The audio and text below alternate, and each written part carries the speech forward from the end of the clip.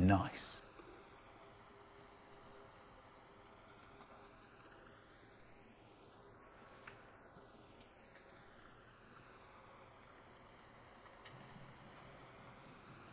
Scientist ने हाल ही में एक काफ़ी इंटरेस्टिंग डिस्कवरी की है रिसर्चर्स ने अभी तक का सबसे बड़े बैक्टीरिया को डिस्कवर किया है, जिसका साइज़ है दो सेंटीमीटर और जितने भी आर्टिकल इस डिस्कवरी में पब्लिश हुए हैं, मेरे हिसाब से वो इस डिस्कवरी को इतना डीपली डिस्कस नहीं कर रहे।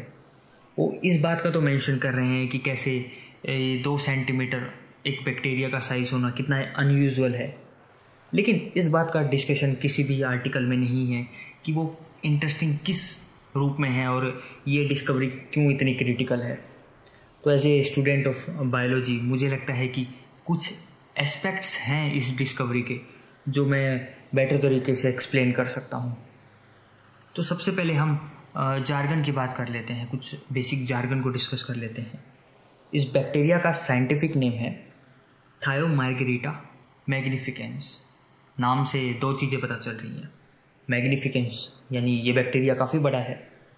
दूसरी चीज़ थायो थायो यानी सल्फ़र एंड ये जो बैक्टीरिया है, वो सल्फ़र ऑक्सीडाइजिंग है। जैसे हम ग्लूकोज को ऑक्सीडाइज करते हैं सी के अंदर, वैसे ही ये हाइड्रोजन सल्फाइड को ऑक्सीडाइज करता है। सल्फेट के अंदर। इस बैक्टीरिया का साइज़ है दो सेंटीमीटर जो कि काफ़ी अनयूजल है एक बैक्टीरिया के लिए एक प्रोकारियोट के लिए। और जब मैं प्रोकारियोट बोलता हूँ तो मेरा मतलब है बैक्टीरिया, क्योंकि प्रोकारियोट के अंदर basically bacteria and archaebacteria आता है। तो चाहे मैं प्रोकारियोट बोलूँ या बैक्टीरिया, एक ही बात है। तो जो पहला एक अनयूजल थिंग है, जो इस डिस्कवरी को इंटरेस्टिंग बनाती है, वो आई थिंक जो भी जिसने भी एलिमेंट्री बायोलॉजी को स्टडी किया है, वो इस बात से रिलेट कर पाएगा। जिसने टेंथ लेवल बायोलॉजी भी पढ़ा है तो वो भी इस बात को समझ पाएगा। जब हम प्रोकारियोट और यूकारियोट के बीच में डिफरेंस देखते हैं तो सबसे पहली चीज़ हमें जो बताई जाती है, वो ये है कि प्रोकारियोट का जो साइज़ है, वो माइक्रोमीटर के अंदर ही फिक्स है। लेकिन यूकारियोट्स का जो साइज़ है, वो काफ़ी एक तरह से फ्री है, उसका जो साइज़ है, उसकी रेंज काफ़ी बड़ी है माइक्रोमीटर से मिलीमीटर्स तक। तो ज़रूर एक बैक्टीरिया का साइज़ जो कि दो सेंटीमीटर है, वो काफ़ी अनयूजल है। एक जितनी भी आप कॉलेज टेक्स्ट बुक उठा के देखें या इवन रेफरेंस बुक भी उठा के देखेंगे तो सब में जो ये साइज़ है वो माइक्रोमीटर्स में ही दे रखा है। या लाइक रेंज जो है वो एक नैरो बैंड में ही शो कर रखी है। तो ज़रूर जो हमारा एक स्टीरियोटिपिकल आइडिया था बैक्टीरिया के बारे में या एक जो नोशन था प्रोकारियोट्स के बारे में, कि प्रोकारियोट्स का जो साइज़ है, वो माइक्रोमीटर तक ही लिमिटेड है, वो ज़रूर चेंज होगा। ये ज़रूर जानना ज़रूरी है कि प्रोकारियोट्स का साइज़ माइक्रोमीटर तक ही क्यों फिक्स है? ऐसा क्यों है कि यूकारियोट्स का साइज़ मिलीमीटर तक जा सकता है, लेकिन प्रोकैरियोट सिर्फ़ एक लिमिटेड साइज़ तक ही लिमिटेड थे लाइक माइक्रोमीटर की रेंज तक ही लिमिटेड थे। इसको जानने के लिए हमें सरफेस टू वॉल्यूम रेशियो जानना होगा। और सरफेस टू वॉल्यूम रेशियो जानने से पहले हमें समझना होगा। Square cube law. तो क्या है ये square cube law? Square cube law को बेसिकली डिस्कवर किया था हमारे गैलीलियो गैलीली ने सिक्सटीन थर्टीज़ कह रहा हूँ मैं। ये लो बेसिकली ये कहता है कि अगर किसी शेप का साइज़ को इंक्रीज़ किया जाए तो उसका जो वॉल्यूम इंक्रीज़ होगा वो ज़्यादा रेट से होगा। सरफेस एरिया के कंपैरिजन में। तो इसको हम एक एग्जांपल से समझेंगे, आसान एग्जांपल से। और इस एग्जांपल में हम स्फेयर शेप को कंसिडर करेंगे। क्योंकि जब हम सेल की बात करते हैं तो जनरली हम सेल को एक परफेक्ट स्फेयर के रूप में देखते हैं कैलकुलेशंस को ईजी बनाने के लिए। हालाँकि जो सेल्स हैं, वो परफेक्ट स्फेयर नहीं होती। सेल इरेगुलर शेप की भी हो सकती हैं। लेकिन कैलकुलेशंस को आसान करने के लिए हम फ़िलहाल सेल को एज ए स्फेयर देखते हैं। और देखते हैं कि कैसे ये लो इम्पोर्टेंट है और कहाँ कहाँ ये स्लो इस इस बेसिकली लो का एप्लीकेशन है हमारे साइज़ के लिमिटेशन में और दूसरे भी जो एप्लीकेशन हैं इस लो के। तो जैसे कि मैंने बताया कि स्क्वेयर क्यूब लो बेसिकली ये है कि वो, किसी अगर एक शेप का साइज़ इंक्रीज़ किया जाए तो उसका वॉल्यूम जो है वो ज़्यादा रेट से इंक्रीज़ होगा सरफेस एरिया के कंपैरिजन में। तो अगर हम एग्जांपल लेते हैं स्फेयर का तो स्फेयर के सरफेस एरिया का फॉर्मूला है surface area of sphere is equal to four pi r square और सरफेस स्फेयर के वॉल्यूम का फॉर्मूला है four by three pi r cube और अभी के लिए कैलकुलेशंस को मात्र इजी बनाने के लिए हम पाई को जो है थ्री कंसिडर करेंगे। आई नो मैथमेटिक्स के स्टूडेंट्स के लिए ये काफ़ी एक पेनफुल एक्सपीरियंस हो सकता है। लेकिन बायोलॉजी के स्टूडेंट्स के लिए सबसे बड़ा काम रहता है कि कैलकुलेशंस को ईजी करना। और क्योंकि मैथमेटिक्स के स्टूडेंट आई थिंक कैलकुलेशंस को पसंद करते हैं और बायोलॉजी के जो स्टूडेंट्स हैं वो, उनको फोबिया रहता है कैलकुलेशन से। तो हम देखते हैं स्फेयर के लिए। अगर एक स्फेयर कंसिडर करें जिसकी रेडियस वन सेंटीमीटर है तो उसके लिए सरफेस एरिया क्या होगा? Surface area four r is equal to one r is equal to one centimetre तो four into three into r square जो कि वन का स्क्वेयर है। तो ये हो जाएगा ट्वेल्व सेंटीमीटर स्क्वायर यानी एक स्फेयर जिसका रेडियस वन सेंटीमीटर है, उसका सरफेस एरिया है बारह सेंटीमीटर स्क्वेयर और अगर आप वॉल्यूम देखें, उसी स्फेयर का, जिसकी रेडियस वन सेंटीमीटर है तो उसकी वॉल्यूम आ जाएगी four by three into three into r cube जो कि वन का क्यूब है तो ये हो जाएगा फोर सेंटीमीटर क्यूब यानी एक स्फेयर जिसकी रेडियस वन सेंटीमीटर है, उसका वॉल्यूम है फोर सेंटीमीटर और उसका सरफेस एरिया है ट्वेल्व सेंटीमीटर स्क्वेयर अब अगर हम उस रेडियस को, उस स्फेयर की रेडियस को एक यूनिट बढ़ाएँ, यानी एक सेंटीमीटर से दो सेंटीमीटर कर दें तो देखते हैं कि सरफेस एरिया और वॉल्यूम पर क्या इफ़ेक्ट होगा। Surface area when r is equal to two centimetre तो four into three into four तो ये हो गया फोर्टी एट सेंटीमीटर स्क्वेयर जब रेडियस दो सेंटीमीटर है स्फेयर की तो हमारा सरफेस एरिया आ रहा है फोर्टी एट सेंटीमीटर स्क्वेयर अब देखते हैं volume volume when r is equal to two centimetre तो four by three into three into two का क्यूब थ्री से थ्री कैंसिल तो ये आ गया बत्तीस सेंटीमीटर क्यूब यानी जब r is equal to two centimetre तो स्फेयर का वॉल्यूम है थर्टी टू सेंटीमीटर क्यूब अभी कुछ इंटरेस्टिंग नहीं है राइट लेकिन अगर हम वॉल्यूम का रेशियो लें नई वाली वॉल्यूम और पुरानी वाली वॉल्यूम यानी जब आ, जब रेडियस टू सेंटीमीटर था उस उस टाइम की वॉल्यूम और जब रेडियस वन सेंटीमीटर था, वो उस वॉल्यूम का रेशियो ले, यानी v two by v one ले तो देखते हैं क्या रेशियो आता है। Thirty two by four centimetre right तो thirty two by four equal to eight centimetre cube से सेंटीमीटर क्यूब कैंसिल हो गया। और अगर ऐसा ही हम सरफेस एरिया के लिए भी करें सरफेस एरिया यानी S two by S one तो एस टू है हमारे पास फोर्टी एट और एस वन है twelve forty eight by twelve is equal to four तो इस रेशो से आ, साफ़ देखने को मिल रहा है कि जो वॉल्यूम है वो एट के फैक्टर से इंक्रीज हुआ है और सरफेस एरिया फोर के फैक्टर से इंक्रीज हुआ है। तो यानी स्क्वेयर क्यूब लो एकदम वैलिड है यहाँ पे। राइट और अब एक दूसरी चीज़ भी हम करेंगे। हम कंपेयर करेंगे जो सरफेस एरिया है, जब रेडियस वन सेंटीमीटर था, उसके रेशियो को वॉल्यूम के साथ, जब रेडियस वन सेंटीमीटर था तो देखते हैं क्या रेशियो आ रहा है। जब रेडियस वन सेंटीमीटर था तो हम सरफेस बाय वॉल्यूम रेशियो लेंगे surface area by volume ratio लेंगे। देखते हैं क्या रेशियो आएगा। तो सरफेस एरिया उस टाइम क्या था? बारह। ट्वेल्व बाय फोर तो ये आएगा थ्री और ऐसा ही हम करेंगे सेकंड केस के साथ। जब रेडियस टू था, तब हम देखेंगे surface area to volume ratio क्या था। तो सरफेस एरिया उस टाइम पे था फोर्टी एट और वॉल्यूम था थर्टी टू ये अप्रोक्स आ जाएगा वन पॉइंट फाइव राइट तो ये देखने को मिल रहा है कि पहले केस में जो surface area to volume ratio था, वो था थ्री और दूसरे केस में जब हमने रेडियस को सिर्फ़ एक यूनिट इंक्रीज किया तो surface area to volume ratio आधा हो गया, पहले वाले के कंपैरिजन में। ठीक है, ये इतना इम्पोर्टेंट क्यों है? अब हम नेक्स्ट एग्जांपल से देखते हैं। ठीक है? तो कभी बार्बर शॉप पे आप गए हैं और ठंड के टाइम पे कई बार क्या करते हैं कि ये ठंडा पानी जब वो बालों को ह्यूमिडिफाई करते हैं या मॉइस्चराइज करते हैं तो कोशिश करते हैं कि जो है ठंडा पानी एक तरह से हमें इरीटेट ना करे। तो डिफ्यूज़र के अंदर, या जो स्प्रेइंग का जो भी उनका कैनिस्टर होता है, उसके अंदर वो गर्म पानी उडेल देते हैं। लेकिन जब वो स्प्रे होता है, यानी डिफ्यूज़र से ड्रॉपलेट्स निकलते हैं पानी के, और हमारे स्किन पे पड़ते हैं तो वो ठंडे लगते हैं। डाला गया है उसमें गर्म पानी, लेकिन फिर भी वो ड्रॉपलेट्स जब हमारी स्किन पे पड़ेंगे तो ठंडक देते हैं लाइक ठंडे लगते हैं। तो उसका क्या रीज़न है? गर्म पानी कैसे ठंडा महसूस हो रहा है? बेसिकली यहाँ इस सरफेस टू वॉल्यूम रेशियो का ही रोल है।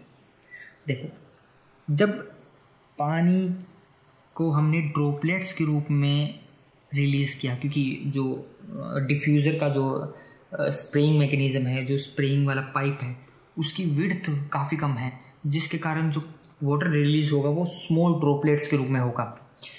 तो ड्रोपलेट्स का जो सरफेस एरिया है ना, वो काफ़ी ज़्यादा है। एक, जब पानी क्लोज्ड कंटेनर में है, उसके कंपैरिजन में। तो सरफेस एरिया क्योंकि ज़्यादा है ड्रोपलेट्स का तो ज़्यादा सरफेस एरिया अवेलेबल होगा इन्वायरमेंट के साथ इंटरेक्ट करने के लिए। और तो जब ज़्यादा सरफेस एरिया अवेलेबल होगा इंट्रैक्शन के लिए तो हीट एक्सचेंज भी उतना ही क्विक होगा। ठीक है? हीट एक्सचेंज क्योंकि बाहर ठंडा इन्वायरमेंट है तो ठंडे इन्वायरमेंट के साथ जो वाटर जो है हीट एक्सचेंज करेगा वाटर ड्रॉपलेट जो गर्म ड्रॉपलेट्स हैं, जिसका टेम्परेचर ज़्यादा है, वो सॉरी जिसका हीट ज़्यादा है, वो एक्सचेंज करेंगे हीट एनवायरनमेंट के साथ में, और ठंडे हो जाएँगे, यानी रूम टेम्परेचर पर पहुँच जाएँगे, और हमारी जब स्किन पे पड़ेगा तो वो हमें ठंडक एहसास होगा। एक दूसरा एग्जांपल ले लेते हैं, ये मे भी इसकी लैंग्वेज थोड़ी कॉम्प्लेक्स करती मैंने। अगर आप रेफ्रिजरेटर से आइस ब्लॉक निकालें, आपने एक वेसल के अंदर बर्फ़ जमाई, ठीक है, और आपने उसको अपने वेसल से निकाल लिया, और उसको रिकॉर्ड करना कि कितना टाइम लग रहा है उस बर्फ़ को मेल्ट होने में। ठीक है, हम मानते हैं हाइपोथेटिकल नंबर एक कि दस मिनट लग रहा है उसको मेल्ट होने में पूरा। ठीक है, अब क्या करना, अगली बार उसी वेसल के अंदर आइस को जमाना मतलब पानी को जमाना और वेसल से उसको आइस को निकाल देना और उसको 10 से 15 पीसीस के अंदर तोड़ देना। और फिर देखना कि मेल्टिंग टाइम कितना हो रहा है। तो ज़रूर एक ऑब्जर्वेशन तो होगा कि जो मेल्टिंग टाइम है, वो रिड्यूस हो गया। क्यों रिड्यूस हो गया? वही रीज़न सरफेस एरिया जो है, ज़्यादा बढ़ गया है। अब क्योंकि पंद्रह पीस हो गए हैं बर्फ़ के तो ज़्यादा सरफेस एरिया अवेलेबल है एनवायरमेंट के साथ हीट एक्सचेंज करने के लिए। जिसके कारण होगा ये कि आइस जो है वो जल्दी मेल्ट हो जाएगा, ठीक है? और एक दो एग्जांपल अगर हम और सोचने की कोशिश करें तो लाइक आई थिंक ये एग्जांपल सही होगा। हम लंग्स का एग्जांपल दे सकते हैं। लाइक लंग्स के अंदर जो है ब्रांचिंग है छोटी छोटी एलविलोइज हैं। तो अगर क्या हो कि अगर मैं इस ब्रांचिंग को रिप्लेस कर दूँ, एक मतलब छोटी छोटी एलविलोइज को रिप्लेस कर दूँ, एक बड़ी सी एलविलोई के साथ, यानी एक सिंगुलर एलविलोई के साथ तो क्या होगा? क्या इफ़ेक्ट होगा हमारी ब्रीथिंग पे रेस्पिरेशन पे? रेस्पिरेशन एक कॉम्प्लेक्स चीज़ होगी। हम ब्रीथिंग बोल लेते हैं अभी। तो ब्रीथिंग पर क्या इफ़ेक्ट होगा? क्या ब्रीथिंग सेम रहेगी या नहीं? ऑब्वियसली अगर जित, अगर आप पिछले दो एग्जाम्पल्स से रिलेट कर पाए हैं तो आप ज़रूर कहेंगे कि सिंगल एल्विलोइक का जो सरफेस एरिया है, वो कम है। सिंगुलर और न्यूमरस एल्विलोई के कंपैरिजन में। तो जिसके कारण जो गैस एक्सचेंज है एक सिंगल एल्विलोई के अंदर जो कि बड़ी है, उसके अंदर काफ़ी कम होगा गैस एक्सचेंज और इस कम गैस एक्सचेंज के कारण हमारी बॉडी के अंदर कम ऑक्सीजन पहुंचेगा और सी भी कम रेट से रिलीज़ होगा. तो इससे हमारी ऑर्गन्स के साइज़ पर भी इफ़ेक्ट पड़ेगा, हमारी ओवरऑल हाइट पे भी इफ़ेक्ट पड़ेगा और ब्रेन डेवलपमेंट पे भी. क्योंकि जो मेजर ऑक्सीजन है वो कंज्यूम हमारा ब्रेन ही कर रहा है. क्योंकि एक तरह से जहाँ एनर्जी मेटाबॉलिज्म जहाँ एनर्जी लग रहा है, जहाँ एटीपी सबसे ज़्यादा लग रहा है तो ऑक्सीजन का कंजप्शन भी वहाँ सबसे ज़्यादा होगा। तो ब्रेन भी शायद उतना डेवलप नहीं होता अगर हमारे पास ब्रेन लंग्स के अंदर एक सिंगल एल्यूलोई होता और एक आई गेस आरबीसी में भी इसका कुछ एप्लीकेशन हो सकता है। आरबीसी का जो साइज़ है वो सबको पता है।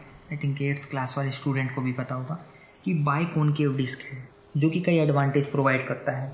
लाइक like, एक एडवांटेज तो ये है कि उसके बाइकॉन के डिस्क वाले साइज़ के कारण जो है वो थिन थिन कैपिलरीज को क्रॉस कर सकता है ईजिली वो डिफॉर्म हो सकता है ईजिली और दूसरा एडवांटेज ये है कि बाइक के डिस्क का जो सरफेस टू वॉल्यूम रेशियो है वो काफ़ी कम है।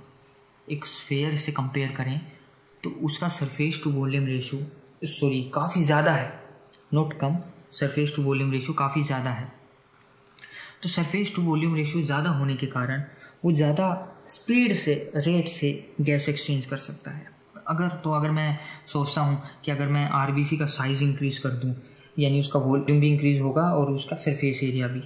लेकिन क्योंकि स्क्वायर क्यूब लॉ के अकॉर्डिंग वॉल्यूम ज़्यादा रेट से इंक्रीज होगा सरफेस एरिया के कंपैरिजन में तो होगा ये कि आरबीसी का साइज़ इंक्रीज करने से आरबीसी की जो डिफ्यूज़न रेट है, वो कम हो जाएगा। मे बी मेगालोबलेस्टिक एनीमिया है, जिसमें आरबीसी का साइज़ जो है, एक काफ़ी इंक्रीज हो जाता है अनयूजल हो जाता है। तो मे बी शायद वहाँ भी इसका surface to volume ratio surface area to volume ratio कहीं इफ़ेक्ट डालता हो।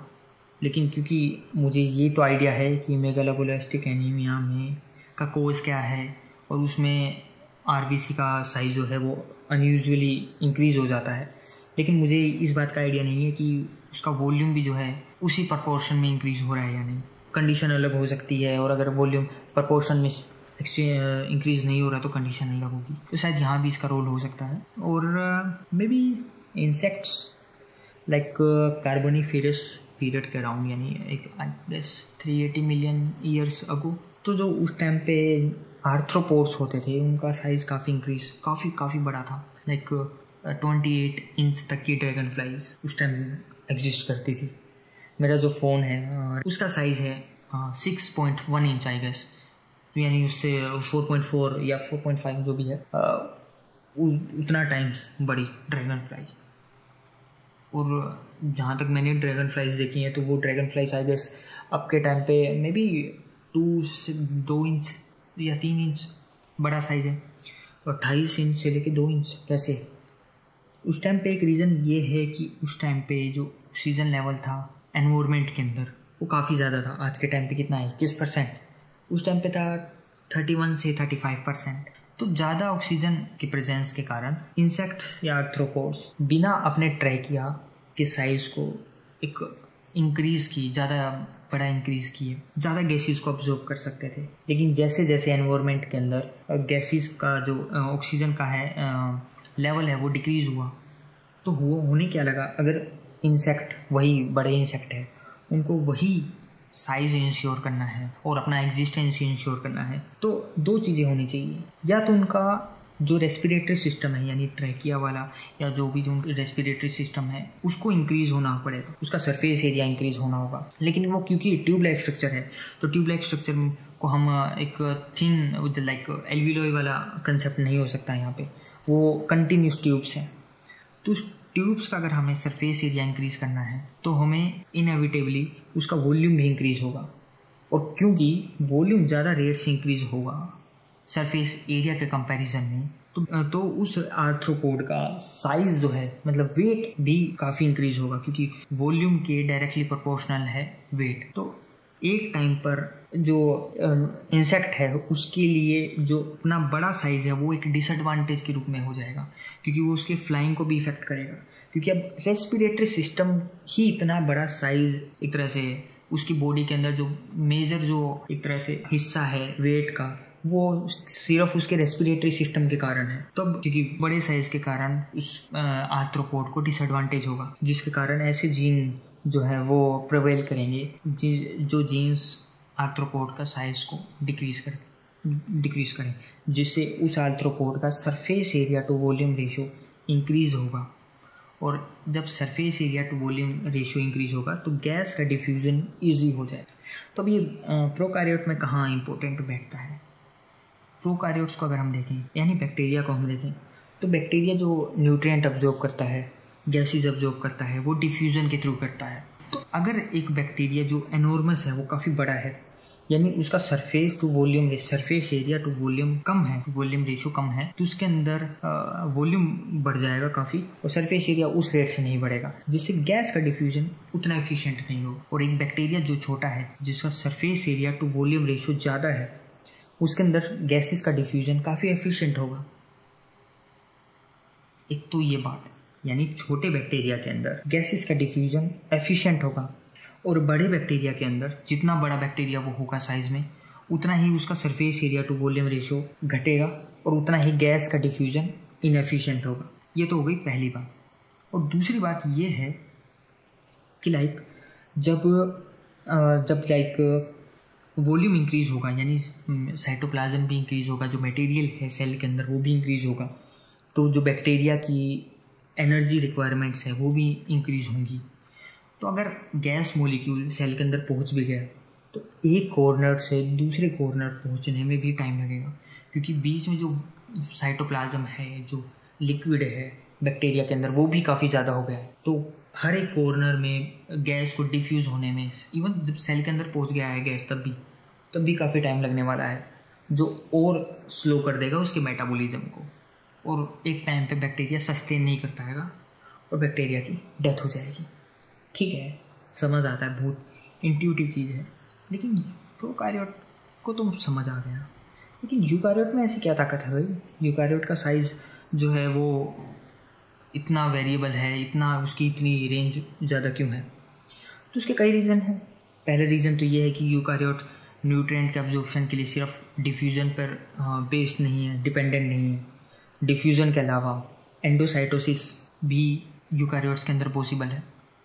एंडोसाइटोसिस को समझाने के लिए एक आसान सा एग्जांपल लेते हैं। पैकमैन कभी गेम खेला है। बचपन में जो हमारे यहाँ पे, हम, हमारे यहाँ पे तो वीडियो गेम की एक कॉपी रहती थी। हम उसको वीडियो गेम ही बोलते थे। हमें कार्टिलेज लगते थे उसमें। वो बेसिकली एन एक एक तरह से गेम स्टेशन था। उसकी कॉपी थी। जो चाइना ने सबसे पहले चाइना ने बहुत धड़ल्ले से कॉपी की है। एन एक जो गेम सिस्टम है, उसकी कॉपी कर करके जो एन हमारे इंडिया में वीडियो गेम्स भेजे हैं और जो भी, जो पुअर कंट्रीज़ थी उस टाइम पर, जो अफोर्ड नहीं कर सकती थी, क्योंकि सोनी का एन बहुत महँगा था। हाँ अब मज़े की बात है कि जो, ये जो एन की जो कॉपी है, उसको सेल करके ही ये ओप्पो कंपनी खड़ी हुई है। तो ओप्पो की जो इनिशियल जो ऑफरिंग थी, वो यही थी एन की कॉपी तो उसमें गेम होता था पैकमैन तो पैकमैन में जो जो पैकमैन का जो कैरेक्टर होता था, वो कुछ डोर्स को खाता था, मैं उसको बचपन में लड्डू बोलता था। तो एंडोसाइटोसिस भी वैसा ही है। एंडोसाइटोसिस में जो मेम्ब्रेन है, वो इन्वेजिनेट करेगी या, यानी फोल्ड हो जाएगी और उस जो भी न्यूट्रिएंट है या सोल्यूट है, उसको अंदर गल्प कर लेगी। और तीसरा है, मैं एकदम प्लेबियन लैंग्वेज यूज़ कर रहा हूँ, एकदम लेमैन लैंग्वेज यूज़ कर रहा हूँ। सर्टेन टनल्स लाइक टनल्स हैं जो जोड़ती हैं बाहर के एनवायरमेंट और अंदर के एनवायरमेंट को। यानी प्लाज्मा मेम्ब्रेन को वॉल की तरह मान लो, जो बाहर के एनवायरमेंट और अंदर के एनवायरमेंट को सेपरेट करके बैठी हैं। लेकिन उस वॉल के बीच में कुछ कुछ खिड़कियाँ हैं टनल्स हैं। लाइक जैसे ट्रांसपोर्टर है चैनल्स हैं पंप्स हैं, जिनके थ्रू सोल्यूट का एक्सचेंज होता है।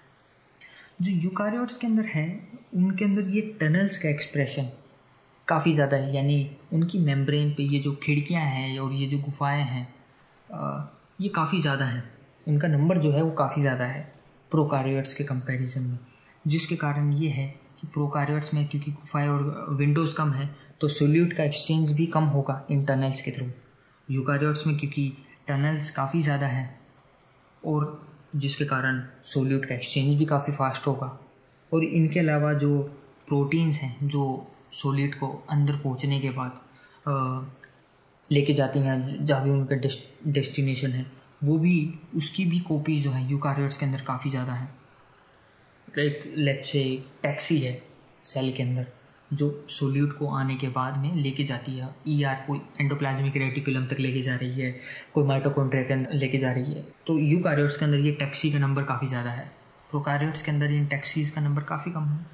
तो इसके कारण यूकारियोट्स इंश्योर करते हैं कि उनके साइज़ के हिसाब से उनको इनफ न्यूट्रिएंट्स जितना उन्हें चाहिए, वो मिल पाए। कभी इस चीज़, जब हम कभी कैंसर पर डिस्कस करेंगे तो ये बहुत इंटरेस्टिंग कंसेप्ट है इसमें कि कैंसर सेल के अंदर कैसे ये, क्योंकि cancer cells rapidly dividing cells हैं तो उन सेल्स के अंदर कैसे ये जो रेट है सोल्यूट का ट्रांसपोर्ट का, वो कैसे इंक्रीज हो जाता है? कि रैपिडली डिवाइडिंग सेल्स है तो उनकी एनर्जी रिक्वायरमेंट्स काफ़ी ज़्यादा होंगी नॉर्मल सेल्स के कंपैरिजन में। तो उनके अंदर ये सोल्यूट का ट्रांसपोर्ट जो भी है, वो काफ़ी इंक्रीज होगा नॉर्मल सेल्स के कंपैरिजन में। तो कभी उस पर भी डिस्कस करेंगे। तो इन्हीं सब कारणों के चलते यूकारियोट्स का जो साइज़ है, वो ज़्यादा उसकी रेंज है प्रोकारियोट्स के साइज़ के कंपैरिजन में। लेकिन जो अभी डिस्कवरी हुई है, ये हमारे बैक्टीरिया की थायोमार्गेरिटा मैग्निफिकेंस ये इसने जो है रिसर्चर्स को ज़रूर कन्फ्यूज़न में डाला है, ज़रूर एक एक नया एक्साइटमेंट जगाया है रिसर्चर्स के अंदर। क्योंकि इस बैक्टीरिया का काफ़ी बड़ा साइज़ है। तो एक रीज़न तो ये है कि इसका जो साइज़ एक शेप है, वो फिलामेंटस है ट्यूबलैक्स तो वो ज़रूर सरफेस एरिया को इंक्रीज़ करती है और डिफ्यूज़न को कुछ आसान बनाती है। लेकिन वो, मैं नहीं समझता कि एकमात्र रीज़न है, जिसके कारण इतना बड़ा साइज़ परमिसिबल हो सकता है या पॉसिबल हो सकता है। ज़रूर कुछ अंडरलाइंग रीजंस हैं अंडरलाइंग मैकेनिज़म्स हैं, जो इस बैक्टीरिया को एक तरह से परमिट कर रहे हैं इतने बड़ा साइज़ सस्टेन करने के लिए। आने वाले समय में देखना होगा कि हम उन मैकेनिज़म्स को कब डिस्कवर करते हैं। क्योंकि उन मैकेनिज़म्स को डिस्कवर करने के बाद हम ये जान पाएँगे कि अर्ली जो यूकारियोट्स हैं, उनके अंदर साइज़ इतना इंक्रीज़ क्यों हो पाया, कैसे और कैसे इस बैक्टीरिया के अंदर भी इतना बड़ा साइज़ पॉसिबल है। और हमारा जो एक स्टीरियोटिपिकल आइडिया था बैक्टीरिया के बारे में कि बैक्टीरिया का साइज़ सिर्फ़ माइक्रोमीटर के अंदर ही फिक्स है, वो भी ज़रूर चेंज हुआ है। और दूसरी इंटरेस्टिंग चीज़ और जो सरप्राइजिंग चीज़ है, इसके अंदर ये है कि दूसरा अगर आप एक one of the major difference पढ़ेंगे प्रोकारियोट्स और यूकारियोट्स के अंदर तो ये है कि जो प्रोकारियोट्स हैं उनके अंदर जो जेनेटिक मटेरियल है, वो किसी एक मेम्ब्रेनस स्ट्रक्चर के अंदर स्टोर्ड नहीं। यानी सेल है सेल के अंदर डायरेक्टली कर एक पड़ा है हमारा जेनेटिक मटेरियल और यूकारियोट्स को देखें तो यूकारियोट्स के अंदर सेल है सेल के अंदर न्यूक्लियस है, जो कि एक मेम्ब्रेनस स्ट्रक्चर है। उसके अंदर जेनेटिक मटेरियल स्टोर्ड है। यानी जेनेटिक मटेरियल को ज़्यादा सेफ्टी प्रोवाइडेड है यूकारियोट्स में। और प्रोकारियोट्स के अंदर ऐसा सच कोई मेम्ब्रेनस कंपार्टमेंट नहीं रहता जिसके अंदर जेनेटिक मटेरियल स्टोर होता है। लेकिन इस बैक्टीरिया के अंदर ऐसा है मेम्ब्रेनस और वो भी एक सिंगुलर कंपार्टमेंट नहीं है। काफ़ी मल्टीपल कंपार्टमेंट्स हैं जिसके अंदर ये जेनेटिक मटेरियल स्टोर है, जो कि प्रोकारियोट्स की आम प्रॉपर्टी नहीं है। प्रोकारियोट्स के अंदर ये मेम्ब्रेनस कंपार्टमेंट नहीं देखने को मिलता, जिसमें जेनेटिक मटेरियल स्टोर हो। ये भी एक सरप्राइजिंग डिस्कवरी है। इस कंपार्टमेंट का नाम पेपेन है। पेपेन को कंफ्यूज नहीं करना है। पेपेन क्योंकि प्रोटीन भी होता है एंजाइम भी होता है जो प्रोटियोलाइटिक बेसिकली एंजाइम है। पेपेन है पेपेन आई थिंक प्रोनाउंस करना इसको सही रहेगा, जो कि एक मेम्ब्रेनस कंपार्टमेंट इसमें डिस्कवर किया गया है, जिसके अंदर जेनेटिक मटेरियल स्टोर है। तो देखना होगा कि आने वाले समय में रिसर्चर्स क्या कुछ डिस्कवर करते हैं इस बैक्टीरिया के बारे में, और ज़रूर ये बैक्टीरिया हमारी बायोफिजिक्स की जो नॉलेज है, उसको भी कुछ ना कुछ चेंज करेगा। तो आई थिंक आज के लिए इतना ही इनफ है। क्योंकि ये प्लान नहीं था आ, मेरा कोई पॉडकास्ट बनाना लेकिन आज मैंने एक स्टेटस अपडेट देखा एक दोस्त का। वो लैंग्वेज तो मैं नहीं समझ पाया वो बंगाली लैंग्वेज में था। लेकिन बहुत एक्साइटमेंट है लोगों के अंदर कि ये जो डिस्कवरी के बारे में। तो मुझे लगा कि थोड़ा बहुत कुछ एक्सप्लेनेशन का कुछ डालना चाहिए। आई थिंक आज के लिए इतना इनफ है।